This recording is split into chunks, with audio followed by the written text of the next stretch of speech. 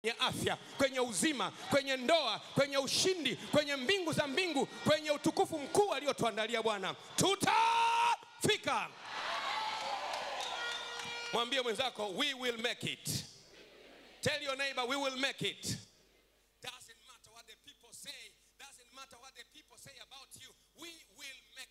Doesn't matter what your father say about you. We will make it. Haijalishi baba yako anasema nini kuhusiana na wewe, lakini utafika safari uendayo. Haijalishi Tanzania inasemaje kuhusiana na wewe, lakini utafika kule uendako. Kuzaliwa kwa Yesu kunatuhakikishia kwamba ingawa wamejaa, nyumba zimejaa, yani mahala pa ustawi wamejaa, wako wamesha, walishachukua kabisa mapema, walishachukua mashamba, walishachukua kila, wamejaa, lakini Mungu amekuandalia mahala pako pa kuanzia chini pale, utatoka pale vile vile ulivyo na, na, na, na, na utapanda kwenda juu, utapewa jina lipitalo majina yote. Wee! Ndiyo maana ya Christmas kwetu. Christmas kwetu sio wakati wa kula pilau au wakati wa, wa Christmas kwetu ni mpango wa Mungu juu ya maisha yetu. This means God has a mission for your life. Christmas to us is that there's a, there's a plan planned by God to bring you from the lowest part to the highest part and that plan will never fail. Kuna mpa, Christmas maana yake kuna mkakati wa kimungu, mkakati wa kimbingu wa kukutoa pale ulipo, pale ambapo wamejaa huko mkakati. Yaani maana yake walijaa kwa makusudi ili Mungu atume ujumbe wako. Kujaa kwao ni sawa ambavyo unaambiwa hii kazi imejaa, haya mashamba yamejaa, hapa wamejaa. Hata kama wangejaa kiasi gani, hawajajaa kwa ajili yako. There is a plan for your life. There is a plan for your tomorrow. there is a plan for your destiny. there is a plan for my family and God's plan shall never fail. Hallelujah. Amen, amen akasafiri kilomita mia moja kumi na moja ameingia pale akuta amejaa, na kuonyesha watu wengi wanawaza kwamba alikuwa maskini hakuwa maskini.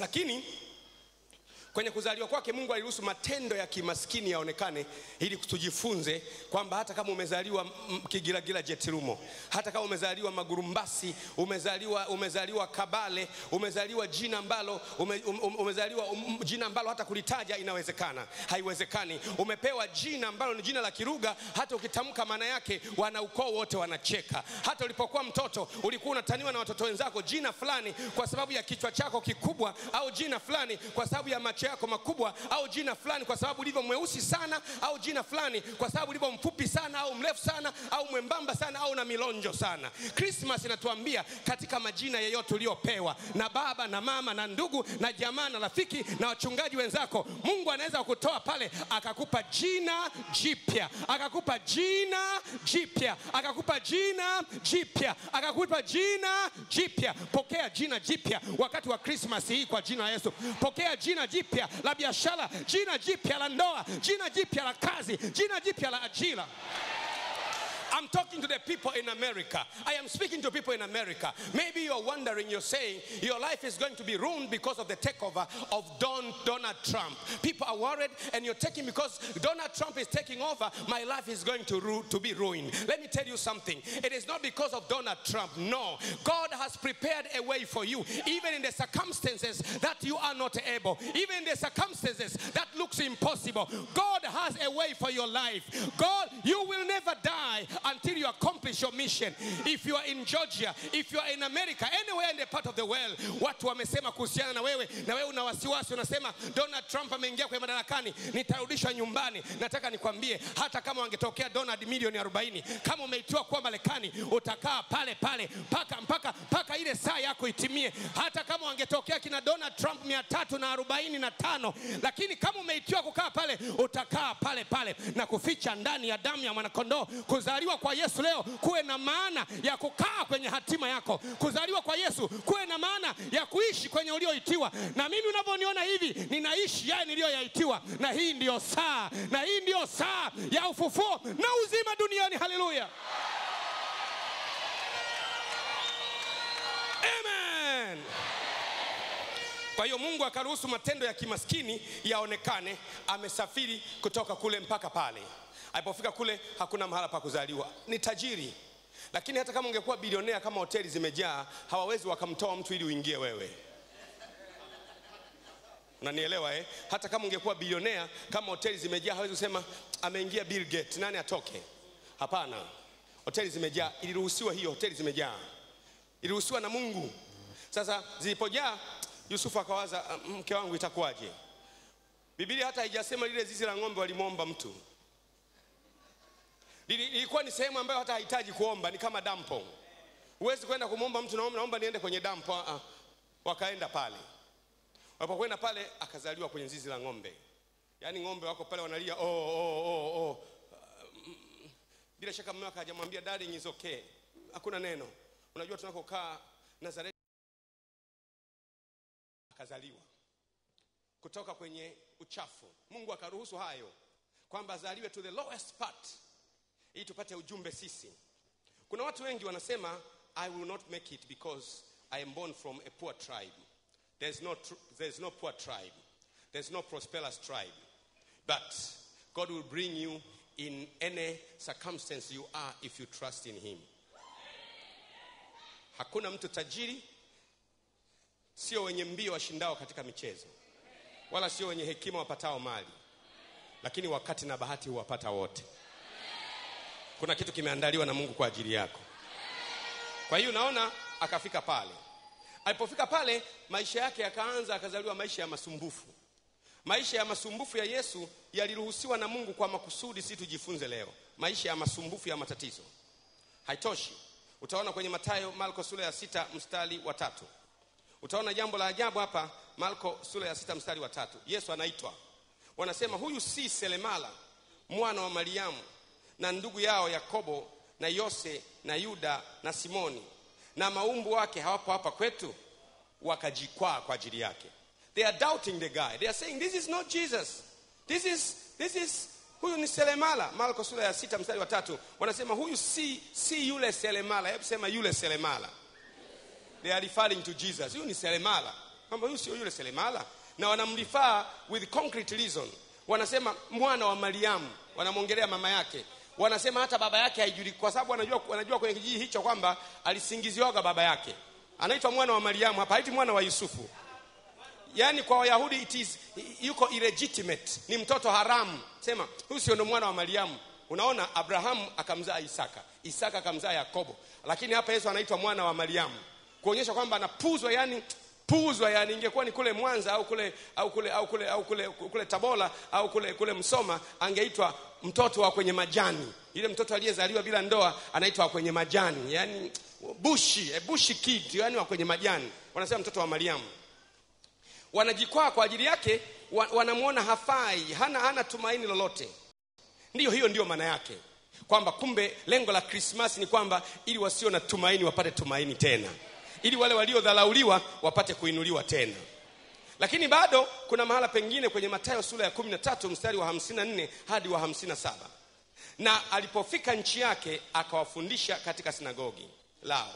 Hata wakashangaa wakasema huyu amepata wapi hekima na miujiza hii? Kapata wapi huyu? Huyu si mwana wa seremara? Mamaye si aitwaye mariamu?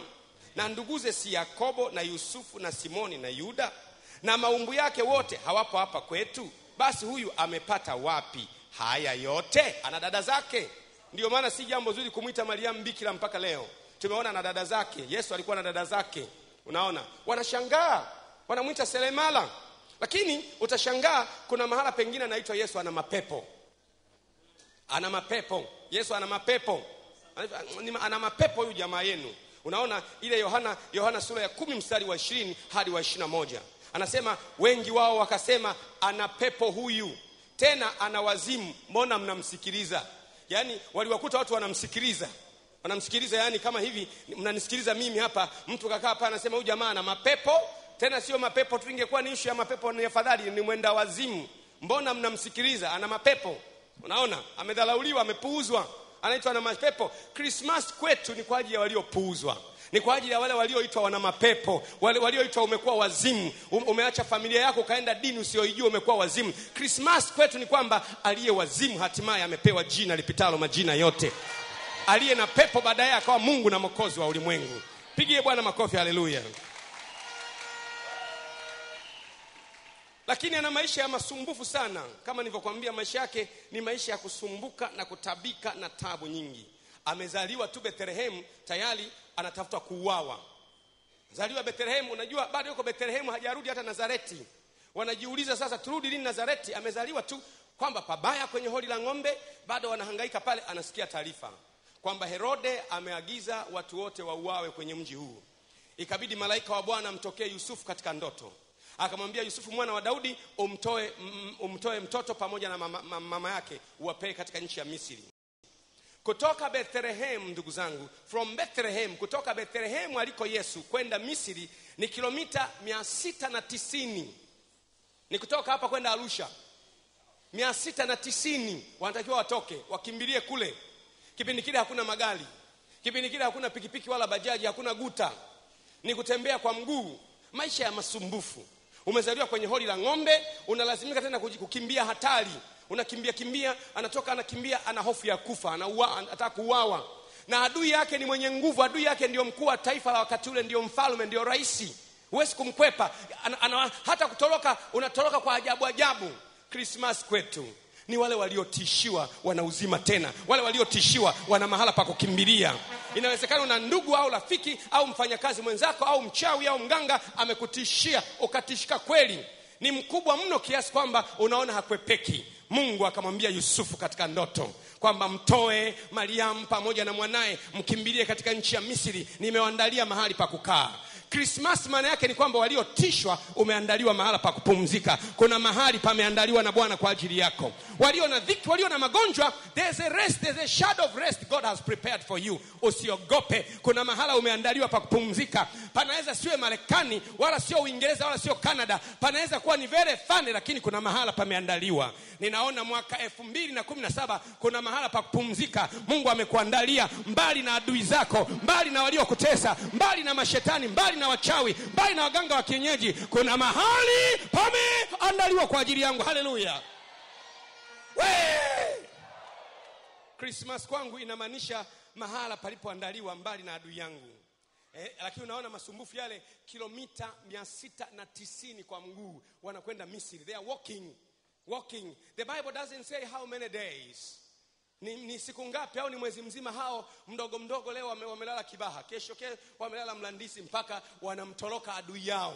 Ah, kumbe krismas kwetu sisi ni maarifa ya kumtoroka adui. Kumbe adui anaweza kutorokwa krismas kwetu sisi ni akili kupitia mkono wa malaika wa kumtoroka adui. Kumtoroka adui magonjwa. Kumtoroka kansa. Kumtoroka ugonjwa wa moyo. Kumtoroka adui ukimwi. Kumbe ndio, ndio maana ya krismas kwetu. It is, it is an art It is a method. It is a divine instruction by God to escape from your disastrous enemy. Uwatoroke adui zako katika Krismasi hii kwa jina la Yesu. Uwatoroke adui zako, magonjwa, laana, mikosi, watoroke. Kuna mahala pameandaliwa kwa ajili yao kwa jina la Yesu. Amen. Lakini haitoshi, akafika kule Misri, akakaa kule Misri muda fulani. Baadaye malaika wa Bwana akamtokea katika nchi ya Misri, akamwambia Yusufu mwana wa Daudi, sasa wamekufa wanaotafuta roho ya mtoto. Mchukue mtoto kutoka misri umrudishe tena katika nchi ya nazareti. Mlitokea bethlehemu lakini mtakaporudi mrudi nazareti. Unaona? Sikilize vizuri. Unakumbuka wao walitokea tu nazareti wanakwenda kuhesabiwa. Likatokea jambo kule likawafanya wasirudi nyumbani kwao yaani misukosuko ikatokea kiasi kwamba wakazaa katoto ka ajabu. Yaani ikazaliwa ishu ikawalazimisha sasa kwenda misri. Wameacha mali zao nazareti wameacha kila kitu nazareti. Ikabidi waende misri kilomita mia sita na tisini. Wamekaa misri baada ya muda yule fala yule herode akafa. Anaongea na wao malaika wa bwana e bwana e, sasa wanaotafuta roho ya mtoto wameshakufa. Sasa rudi lakini usiende bethlehemu nenda nazareti kutoka nazareti kumbuka kutoka bethlehemu kwenda misri ilikuwa ni kilomita mia sita na tisini. Lakini kutoka, kutoka sasa misri kurudi kwenye origin kurudi kwenye asili yao sasa ni kilomita mia saba na themanini na nne. Najifunza jambo moja kumbe kurudi kwenye asili yako ni kilomita nyingi lakini bado utarudi. Mpe bwana makofi haleluya kumbe kurudi kwenye asili yako ni kilomita nyingi. Umekwenda mbali sana na asili yako. Umekwenda mbali sana na mahala penye baraka na mahala ulipozaliwa. Lakini kumbe ni kilomita nyingi. Lakini pamoja na kwamba ni kilomita nyingi malaika wa bwana amesema twende nazareti rudi kwenye asili yako asili ya kutawala asili ya afya na uzima asili ya kuzaa watoto asili ya ndoa asili ya kiwanja asili yako njema ingawa ni mbali ni kilomita mia saba na themanini na nne lakini rudi mungu amesema. Kumbe krismas maana yake ni kwamba nawarudisha watu wangu kwenye asili zao asili za afya. Wewe asili yako sio ukimwi sio magonjwa sio kansa sio talaka sio umaskini. Asili yako ni uzima. Na wapenda wale wanipendao na wale wanitafutao kwa bidii nao wataniona. Heshima na, heshima ziko pamoja kwangu. Alafu anasema mara pengine nitakurudishia miaka yako iliyoliwa na nzige na madumadu na palale na jeshi kubwa la mungu. Anasema pia nitakurudishia afya yako. Kumbe mungu ni mungu wa kurudisha. Amemtoa yesu kristo na mariamu kutoka misri. Wanakwenda kwao kule nchi ya nazareti ili aitwe mnazarayo. Nataka kuambia mwaka huu unapokwenda kuisha mungu anakurudisha. Pale ulipokimbizwa kuna mtu amekimbizwa mahali. Kuna, kuna mtu umekimbizwa mahali ukapelekwa mbali sana. Umekimbizwa kwenye ndoa kwenye biashara kwenye mapato kwenye kazi mungu anasema amemtuma malaika wake. Na malaika wake ana maneno machache tu anasema hivi wamekufa walioitafuta roho ya mtoto. Na mi nakwambia wamekufa waliotafuta roho yako. Elfu mbili na kumi na saba wafe wanaotafuta biashara yako wafe wanaotafuta ndoa yako wafe wanaotafuta eh, biashara yako watoto familia ndoa taifa la tanzania. Na hapo ndipo mtu atashangilia atasema nimemwona bwana. Pigie bwana yesu makofi haleluya.